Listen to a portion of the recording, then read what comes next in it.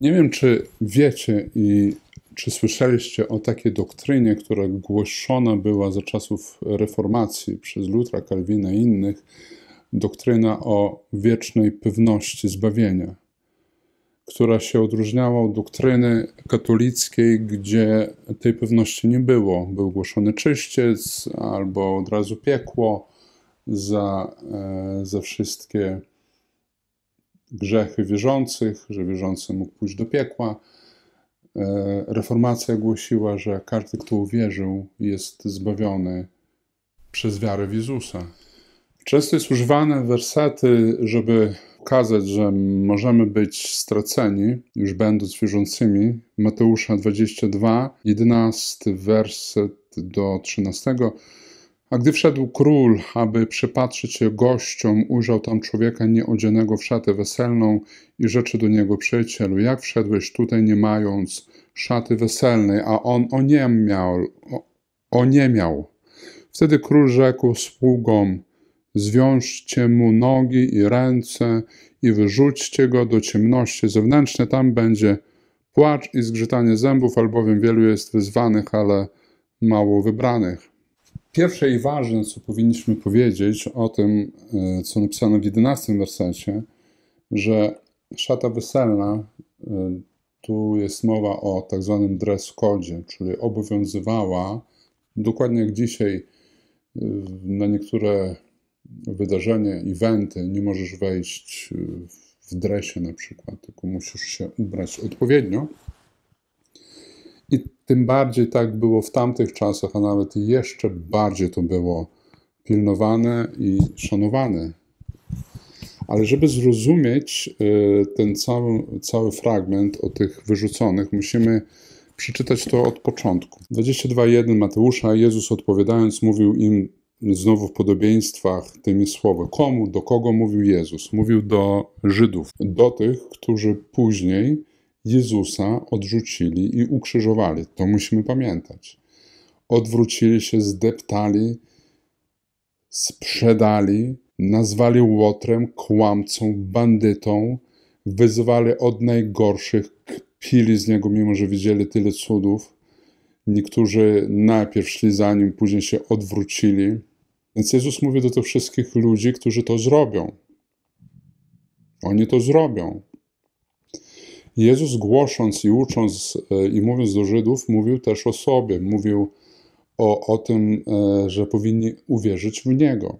22 rozdział Mateusza jest tuż przed 24, tak zwany e, rozdział Małej Apokalipsy, gdzie jest opisane zburzenie Jerozolimy i zniszczenie w ogóle Izraela. Izrael wtedy przestał istnieć jak państwo. Jerozolima, świątynia, gdzie były odpuszczane grzechy, została zniszczona. Tylko w świątyni mogły być odpuszczane grzechy, nigdzie indziej.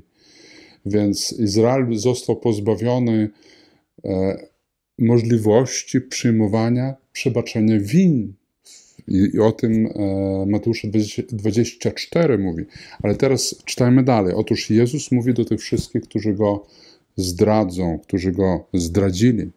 I on o tym wie, że zdradzą. Oto on mówi, opowiada e, prawdę o tym wszystkim. Drugi, podobne jest Królestwo Niebios do pewnego króla, który sprawił wesele swemu synowi. Mówi o Ojcu w niebie i mówi o sobie.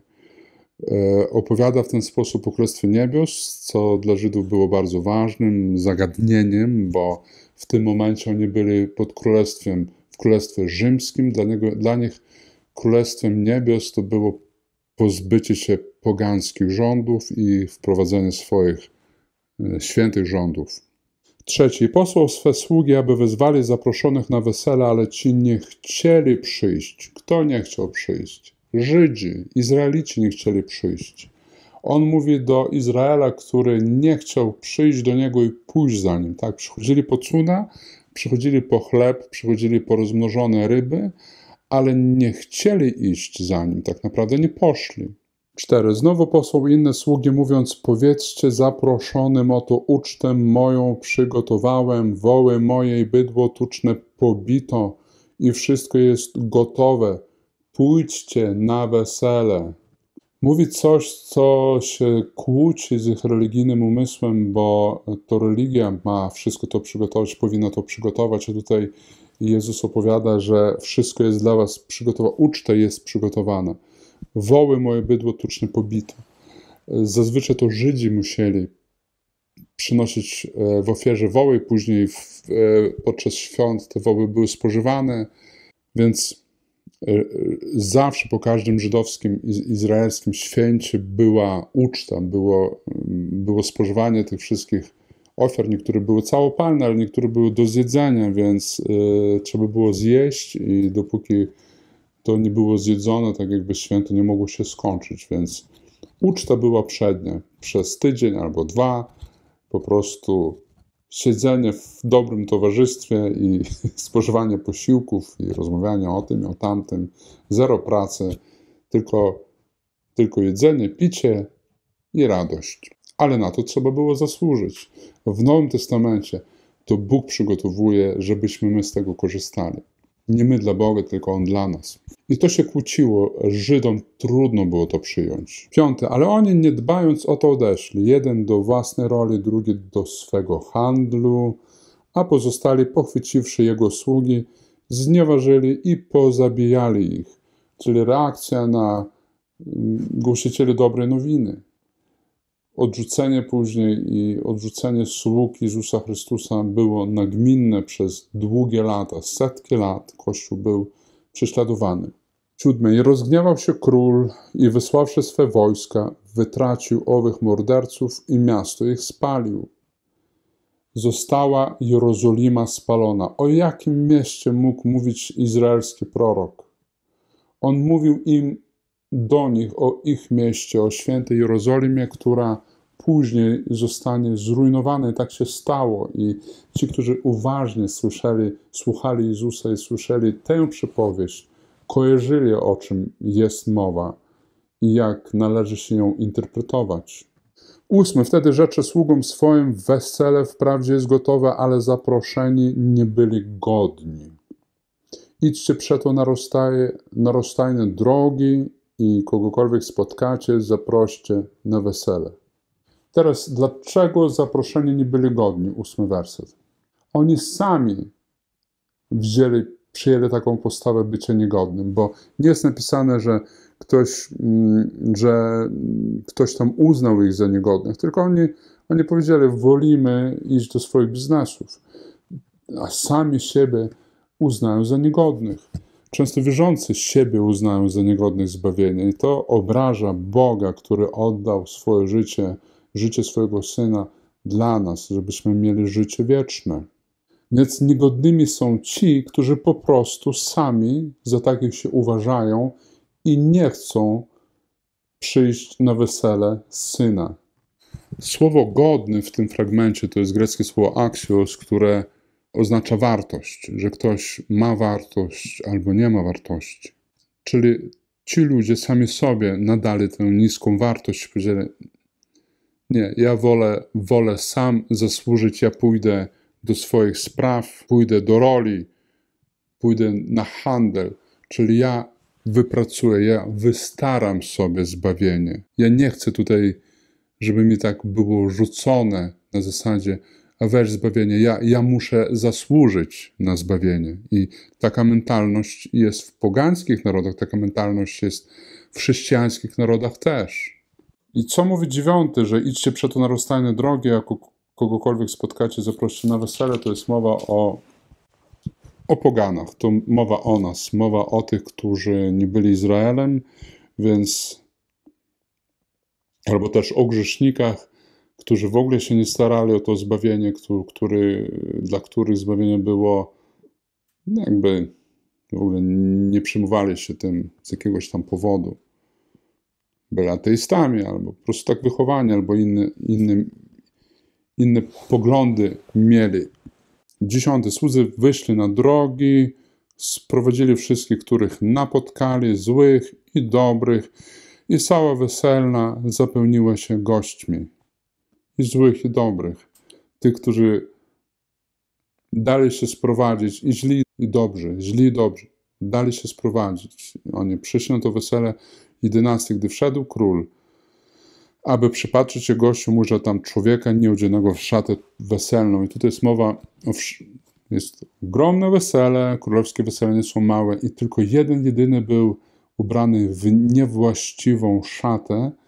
Co to znaczy? On nie przyjął dress code'u, który zaproponował król, bo zazwyczaj jakiś dress code zawsze obowiązywał, jak mam, jak muszę być ubrany. On ubrał się według własnego widzimisię, według własnych pomysłów. Nie przyjął szaty usprawiedliwienia. Powiedział: Dobrze, przychodzę do ciebie, Jezu, przychodzę na Twoje wesele, synu, ale na własnych warunkach. Przychodzę we własnej szacie. Ja będę ubrany tak, jak mi się podoba. Ja wierzę w Ciebie, ale wierzę w Ciebie na swoich warunkach. Na warunkach bycia samo usprawiedliwionym, na warunkach, że ja, ja popracuję nad swoją świętością i doskonałością. I wtedy król rzekł: Zwiążcie mu nogi, ręce, wyrzućcie go do ciemności zewnętrznej, tam będzie płacz i zgrzytanie zębów, albowiem wielu jest wyzwanych, ale mało wybranych. I teraz ten werset musimy zrozumieć w kontekście tego wszystkiego, co powiedziałem.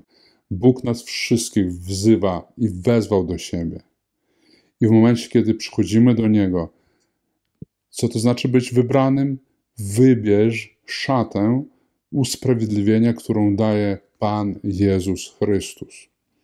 Jest walka w, opisana w Księdze Objawienia, w XIX jest napisane, że niewiasta ubrana w usprawiedliwienie, w szatę usprawiedliwienia i fragment w XVIII że pogańskie bóstwa i poganie ubierali się w strojne szaty, złota, ze złota, z innych cennych kamieni. To jest symbol własnych zabiegów, żeby się spodobać Bogu w jakiś sposób. I teraz słowo szata jest użyte w innym fragmencie Nowego Testamentu. Kolosjan 3:12 przeto przyobleczcie się jako wybrani Boży, święci i umiłowani, w serdeczne współczucie, w dobroć, pokorę, łagodność, cierpliwość, znosząc jedni drugich i przebaczając sobie nawzajem, jeśli kto ma powód do skargi przeciw komu, jak Chrystus odpuścił wam, tak i wy. Tutaj w 12 wersecie jest użyte to samo słowo szata, jak i u Mateusza, gdzie, gdzie ktoś nie był ubrany w tę odpowiednią szatę weselną. I to słowo szata nie jest tak zbyt dużo go w Nowym Testamencie, jest kilka fragmentów. Tam jeszcze może sześć fragmentów z tą szatą. I najbardziej pasuje opis, czym jest ta szata, właśnie tu, Kolosan 3:12. Załóżcie szatę, tak trzeba przetłumaczyć, jako wybranie Boży, święci i umiłowani w, w co? Jak, jak wygląda, po czym możemy rozpoznać tę szatę usprawiedliwienia? serdeczne współczucie, dobroć, pokora, łagodność, cierpliwość, znosząc jedni drugich, jeśli kto ma powód do skargi przeciw komu. Tak naprawdę ta szata opisuje y, cechy łaski, cechy usprawiedliwienia. To Bóg wobec ciebie był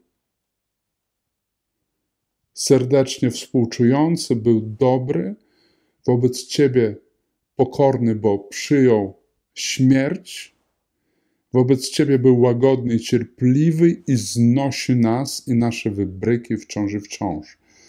Ta szata świadczy o czym? O tym, jeśli Ty doświadczyłeś łaski, to Ty tę łaskę powinieneś dawać też innym. I dawanie innym tej łaski, która tu jest opisana, jest świadectwem tego, że chodzisz w szacie usprawiedliwienia. Kochani, biegiem do łaski Bożej, przyjmij łaskę.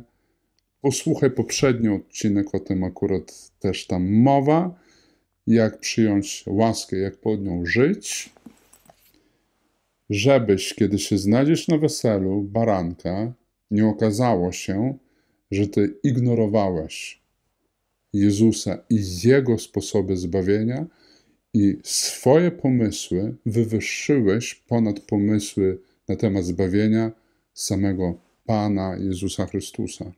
Tak to widzę. Tak wynika e, z tych fragmentów, dlatego